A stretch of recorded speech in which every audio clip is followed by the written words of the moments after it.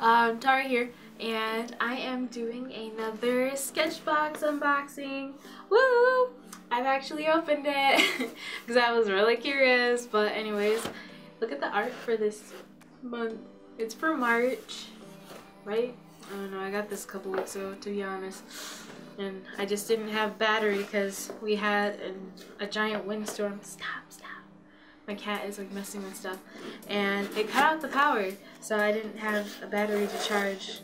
But yes, let's get into it. March featured artist is Victoria Wilson. Look at her art. Oh, sorry about the glare.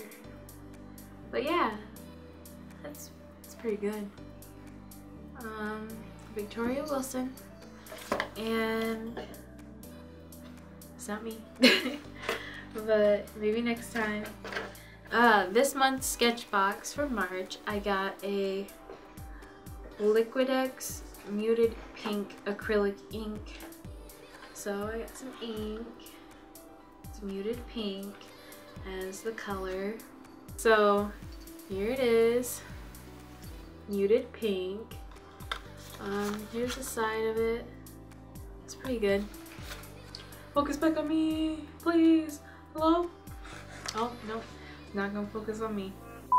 So, here's what it looks like inside the box. It's pretty. Hope this doesn't break it. But yeah. Oh, I gotta refocus it. Give me a second.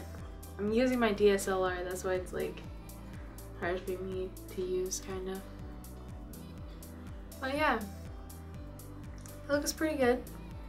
On to the next one. The next thing I got was a sock, um, a sorry, a Sakura Pen Touch White Extra Fine, and that is this. It's pretty interesting.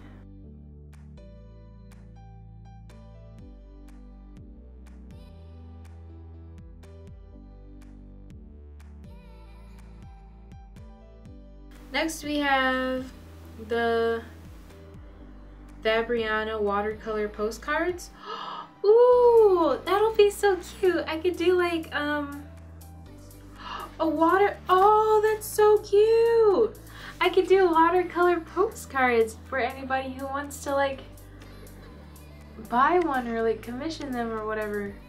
Where is it? Where's the focus?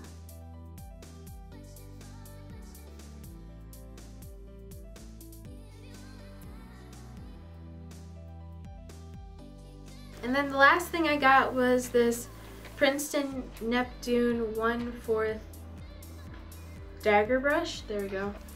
Yeah, this is what it looks like. I don't want to take off the like little cap thing, but it's like a dagger shape and 1 4th is the size. That's pretty cool. New watercolor brush. And I don't have one like this, so that's pretty neat and I'm so excited about these postcards because I do a lot of watercolor or at least I'm trying to because I really like it but I'm trying to get into more watercolor stuff. I've I'm, I'm still practicing but I should probably do more. I really should get like a watercolor notebook not notebook sketchbook. So I'm sorry I did not do like a little speed paint of me using the items from last month that I got in the sketchbox. It's just really hard to... I tried to use the pearlescent pan pastels. Sorry, I forgot the name. Um, I tried to use those, but I don't exactly know how to use them.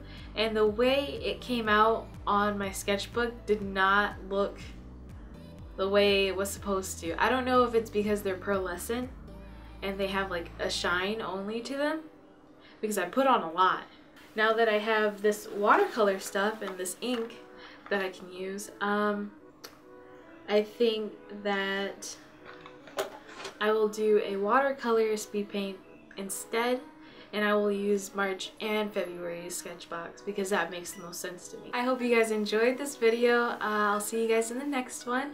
Comment down below what you think that I should, uh, comment down below what I should speed paint no. Comment down below what you think comment down below an idea for the speed paint for last month and this month's um, sketchbox. And yeah, I'll I'll probably do it. It might take me a little bit of time because I I'm kind of busy. I just started a new trimester, so things are kind of crazy, and I have general PE and I kind of want to die. But other than that, it's kind of okay. But yeah, I'll see you guys in the next video. I hope you enjoyed, and yeah, bye!